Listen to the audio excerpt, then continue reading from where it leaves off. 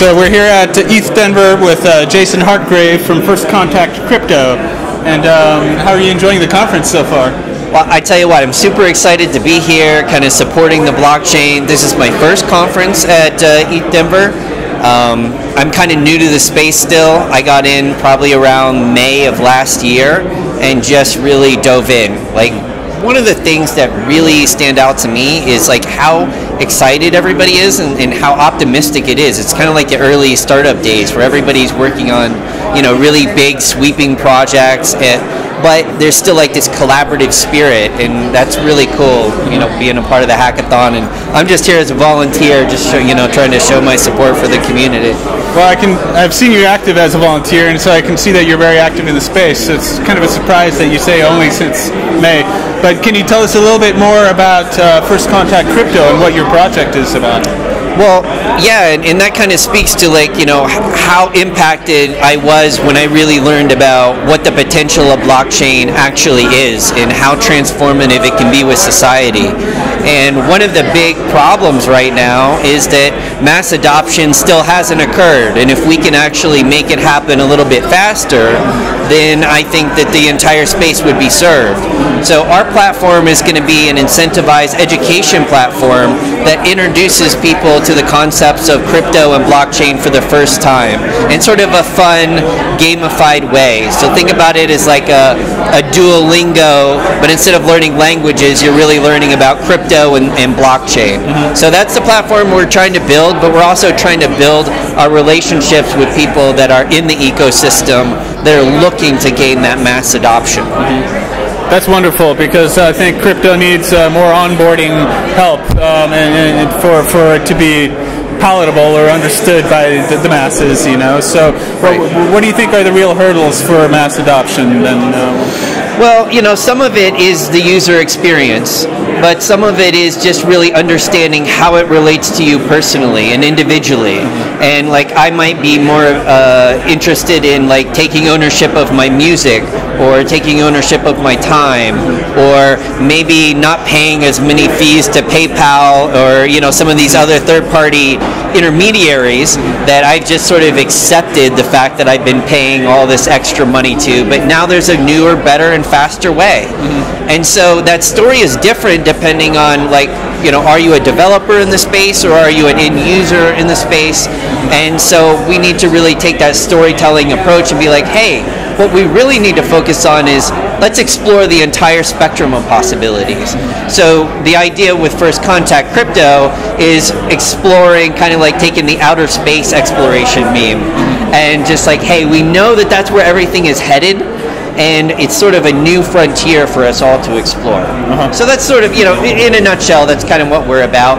But really, at this show, it's sort of like finding out all the other projects that are out in the space and sort of bringing them together and say, how can we help you? How can we help you grow your project? Mm-hmm. Great, yeah, yeah. Because a lot of the people outside of the crypto sphere, like my mom or like, yeah, um, you know, they're they're asking questions maybe a little different than than the questions that we're asking. Like they're not asking how, but they're asking why. You know, right. like why crypto? You know, right. so like um, how, how, are you helping to approach that, those people and sort of bring them on board or uh, well, one of the big things is like really uh, having a, a, place in an, an education platform that's going to emphasize safety too. And so that way, people's first experience with the space is not being involved with the scammy ICO or some of these other um, opportunities that are out there, but say like, hey, wait, you know, why don't you learn a little bit first?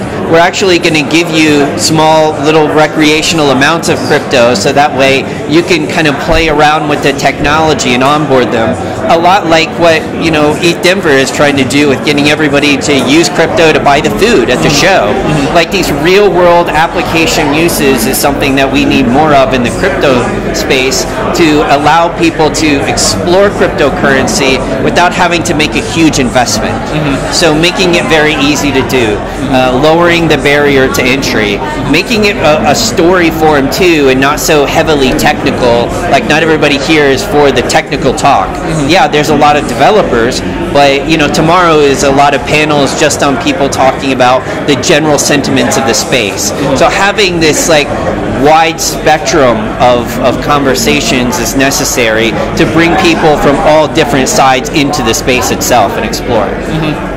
So that's kind of where I'm at, you know. So that's great. Well, since you said you were a little new to the space, or in the since the past year, what was it that triggered it for you, and, and what was your, your your first contact? You know, what brought you on board or set off your enthusiasm? It was uh, it was very unusual for me because I was in the digital marketing space, and somebody that I had worked with, in fact, it was a team out of India um, that I had worked with in a different capacity for like search engine optimization in the early days of the internet. They actually asked me to help them write their white paper. So I caught a trial by fire because I had to market uh, the technology that I really didn't understand. So I had to deep dive into the white paper and I had to deep dive into what, what are the effects of cryptocurrencies and, and how did their project really aim to make an impact in the space. And once I really understood the transformative power of the blockchain, especially in enabling the unbanked and people that may be in uh, less uh, currency friendly environments, you know, that are that their currency can wildly swing, um, kind of help me gain the perspective on how powerful this technology can be and how democratizing of a force it can be. And when people realize how much crypto and blockchain can actually impact their level of individual freedom and allow them to take control of their life, it became really a, a powerful mission that I needed to get behind. And I felt like I needed to use my marketing efforts to promote a good message. And that's sort of the genesis of where I got involved with crypto education. Great to hear. Yeah, one thing leads to another, and now the full snowball effect is in effect. You know. Yeah, and, and you can see that even even in a down market, like here in ETH Denver, like this is packed. Like there is lots of people. There's lots of enthusiasm in the space, and really, it's not a matter of like if. It's a matter of like when these ideas are really going to take hold in in more and more mainstream. Um, uh, environments, and that's only going to happen if there's more and more narratives around the different applications of crypto and blockchain, and shining a light on all these people that are creating like these really impactful projects, even though there's only a very few people in the team. Um, they're able to leverage these technologies that can really change like entire industries are going to be disrupted. Yeah, yeah. Um, so let's talk a little bit about the conference and your experience here so far. It's it's only day one of a three-day conference, um, but what would you say is your highlight so far? And are there any other projects that are represented here that um, that, that that stand out to you? Well, as I mentioned before, I'm really interested in, in, in the freedom and the actually the uh, the voice that crypto can give people. And some of the cooler projects are really about voting and consensus mechanisms. And if there's one thing that living in America in a democracy like this can tell us, it's that these narratives between different people with different ideas on governance is just going to become more polarizing over time.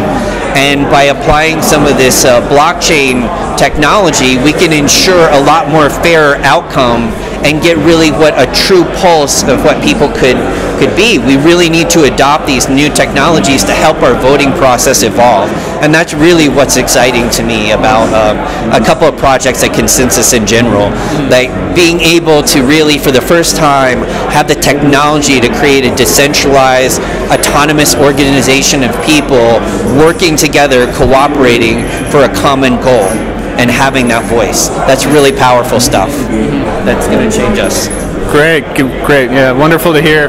Um, do you have any last words? I would say any predictions about the future? Any like five years ahead, ten years ahead?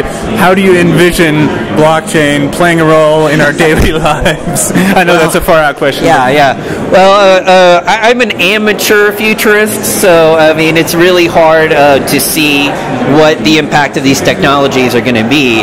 But I think it's going to become very disruptive when we have multiple technological trends converging.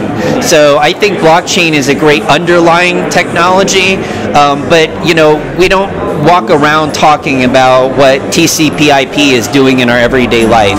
It's just there. It makes the internet run, and it's just a couple of letters in most people's vocabulary with very little meaning attached to it. And over the next few years, I believe that's what we're going to see blockchain technology become. It's just going to become more and more hidden, and the experiences are going to become more and more accessible to everyday people. But the impact of those, the story of those, is really what's going to drive the adoption as these technologies mature. So I still think that we're uh, you know a couple years away from sort of mass adoption events, but I actually believe that the impending elections are going to shine a very big light on the possibility and the disruption that crypto uh, may have in, in, in giving people a way to really vote with their money in, in, in, a new way and understand the value of, of different ways of having a voice using and kind of creating your own personal economy, if that makes any sense, uh, through blockchain. Sure, sure, sure. All right. Well, thank you so much, Jason Hartgrave.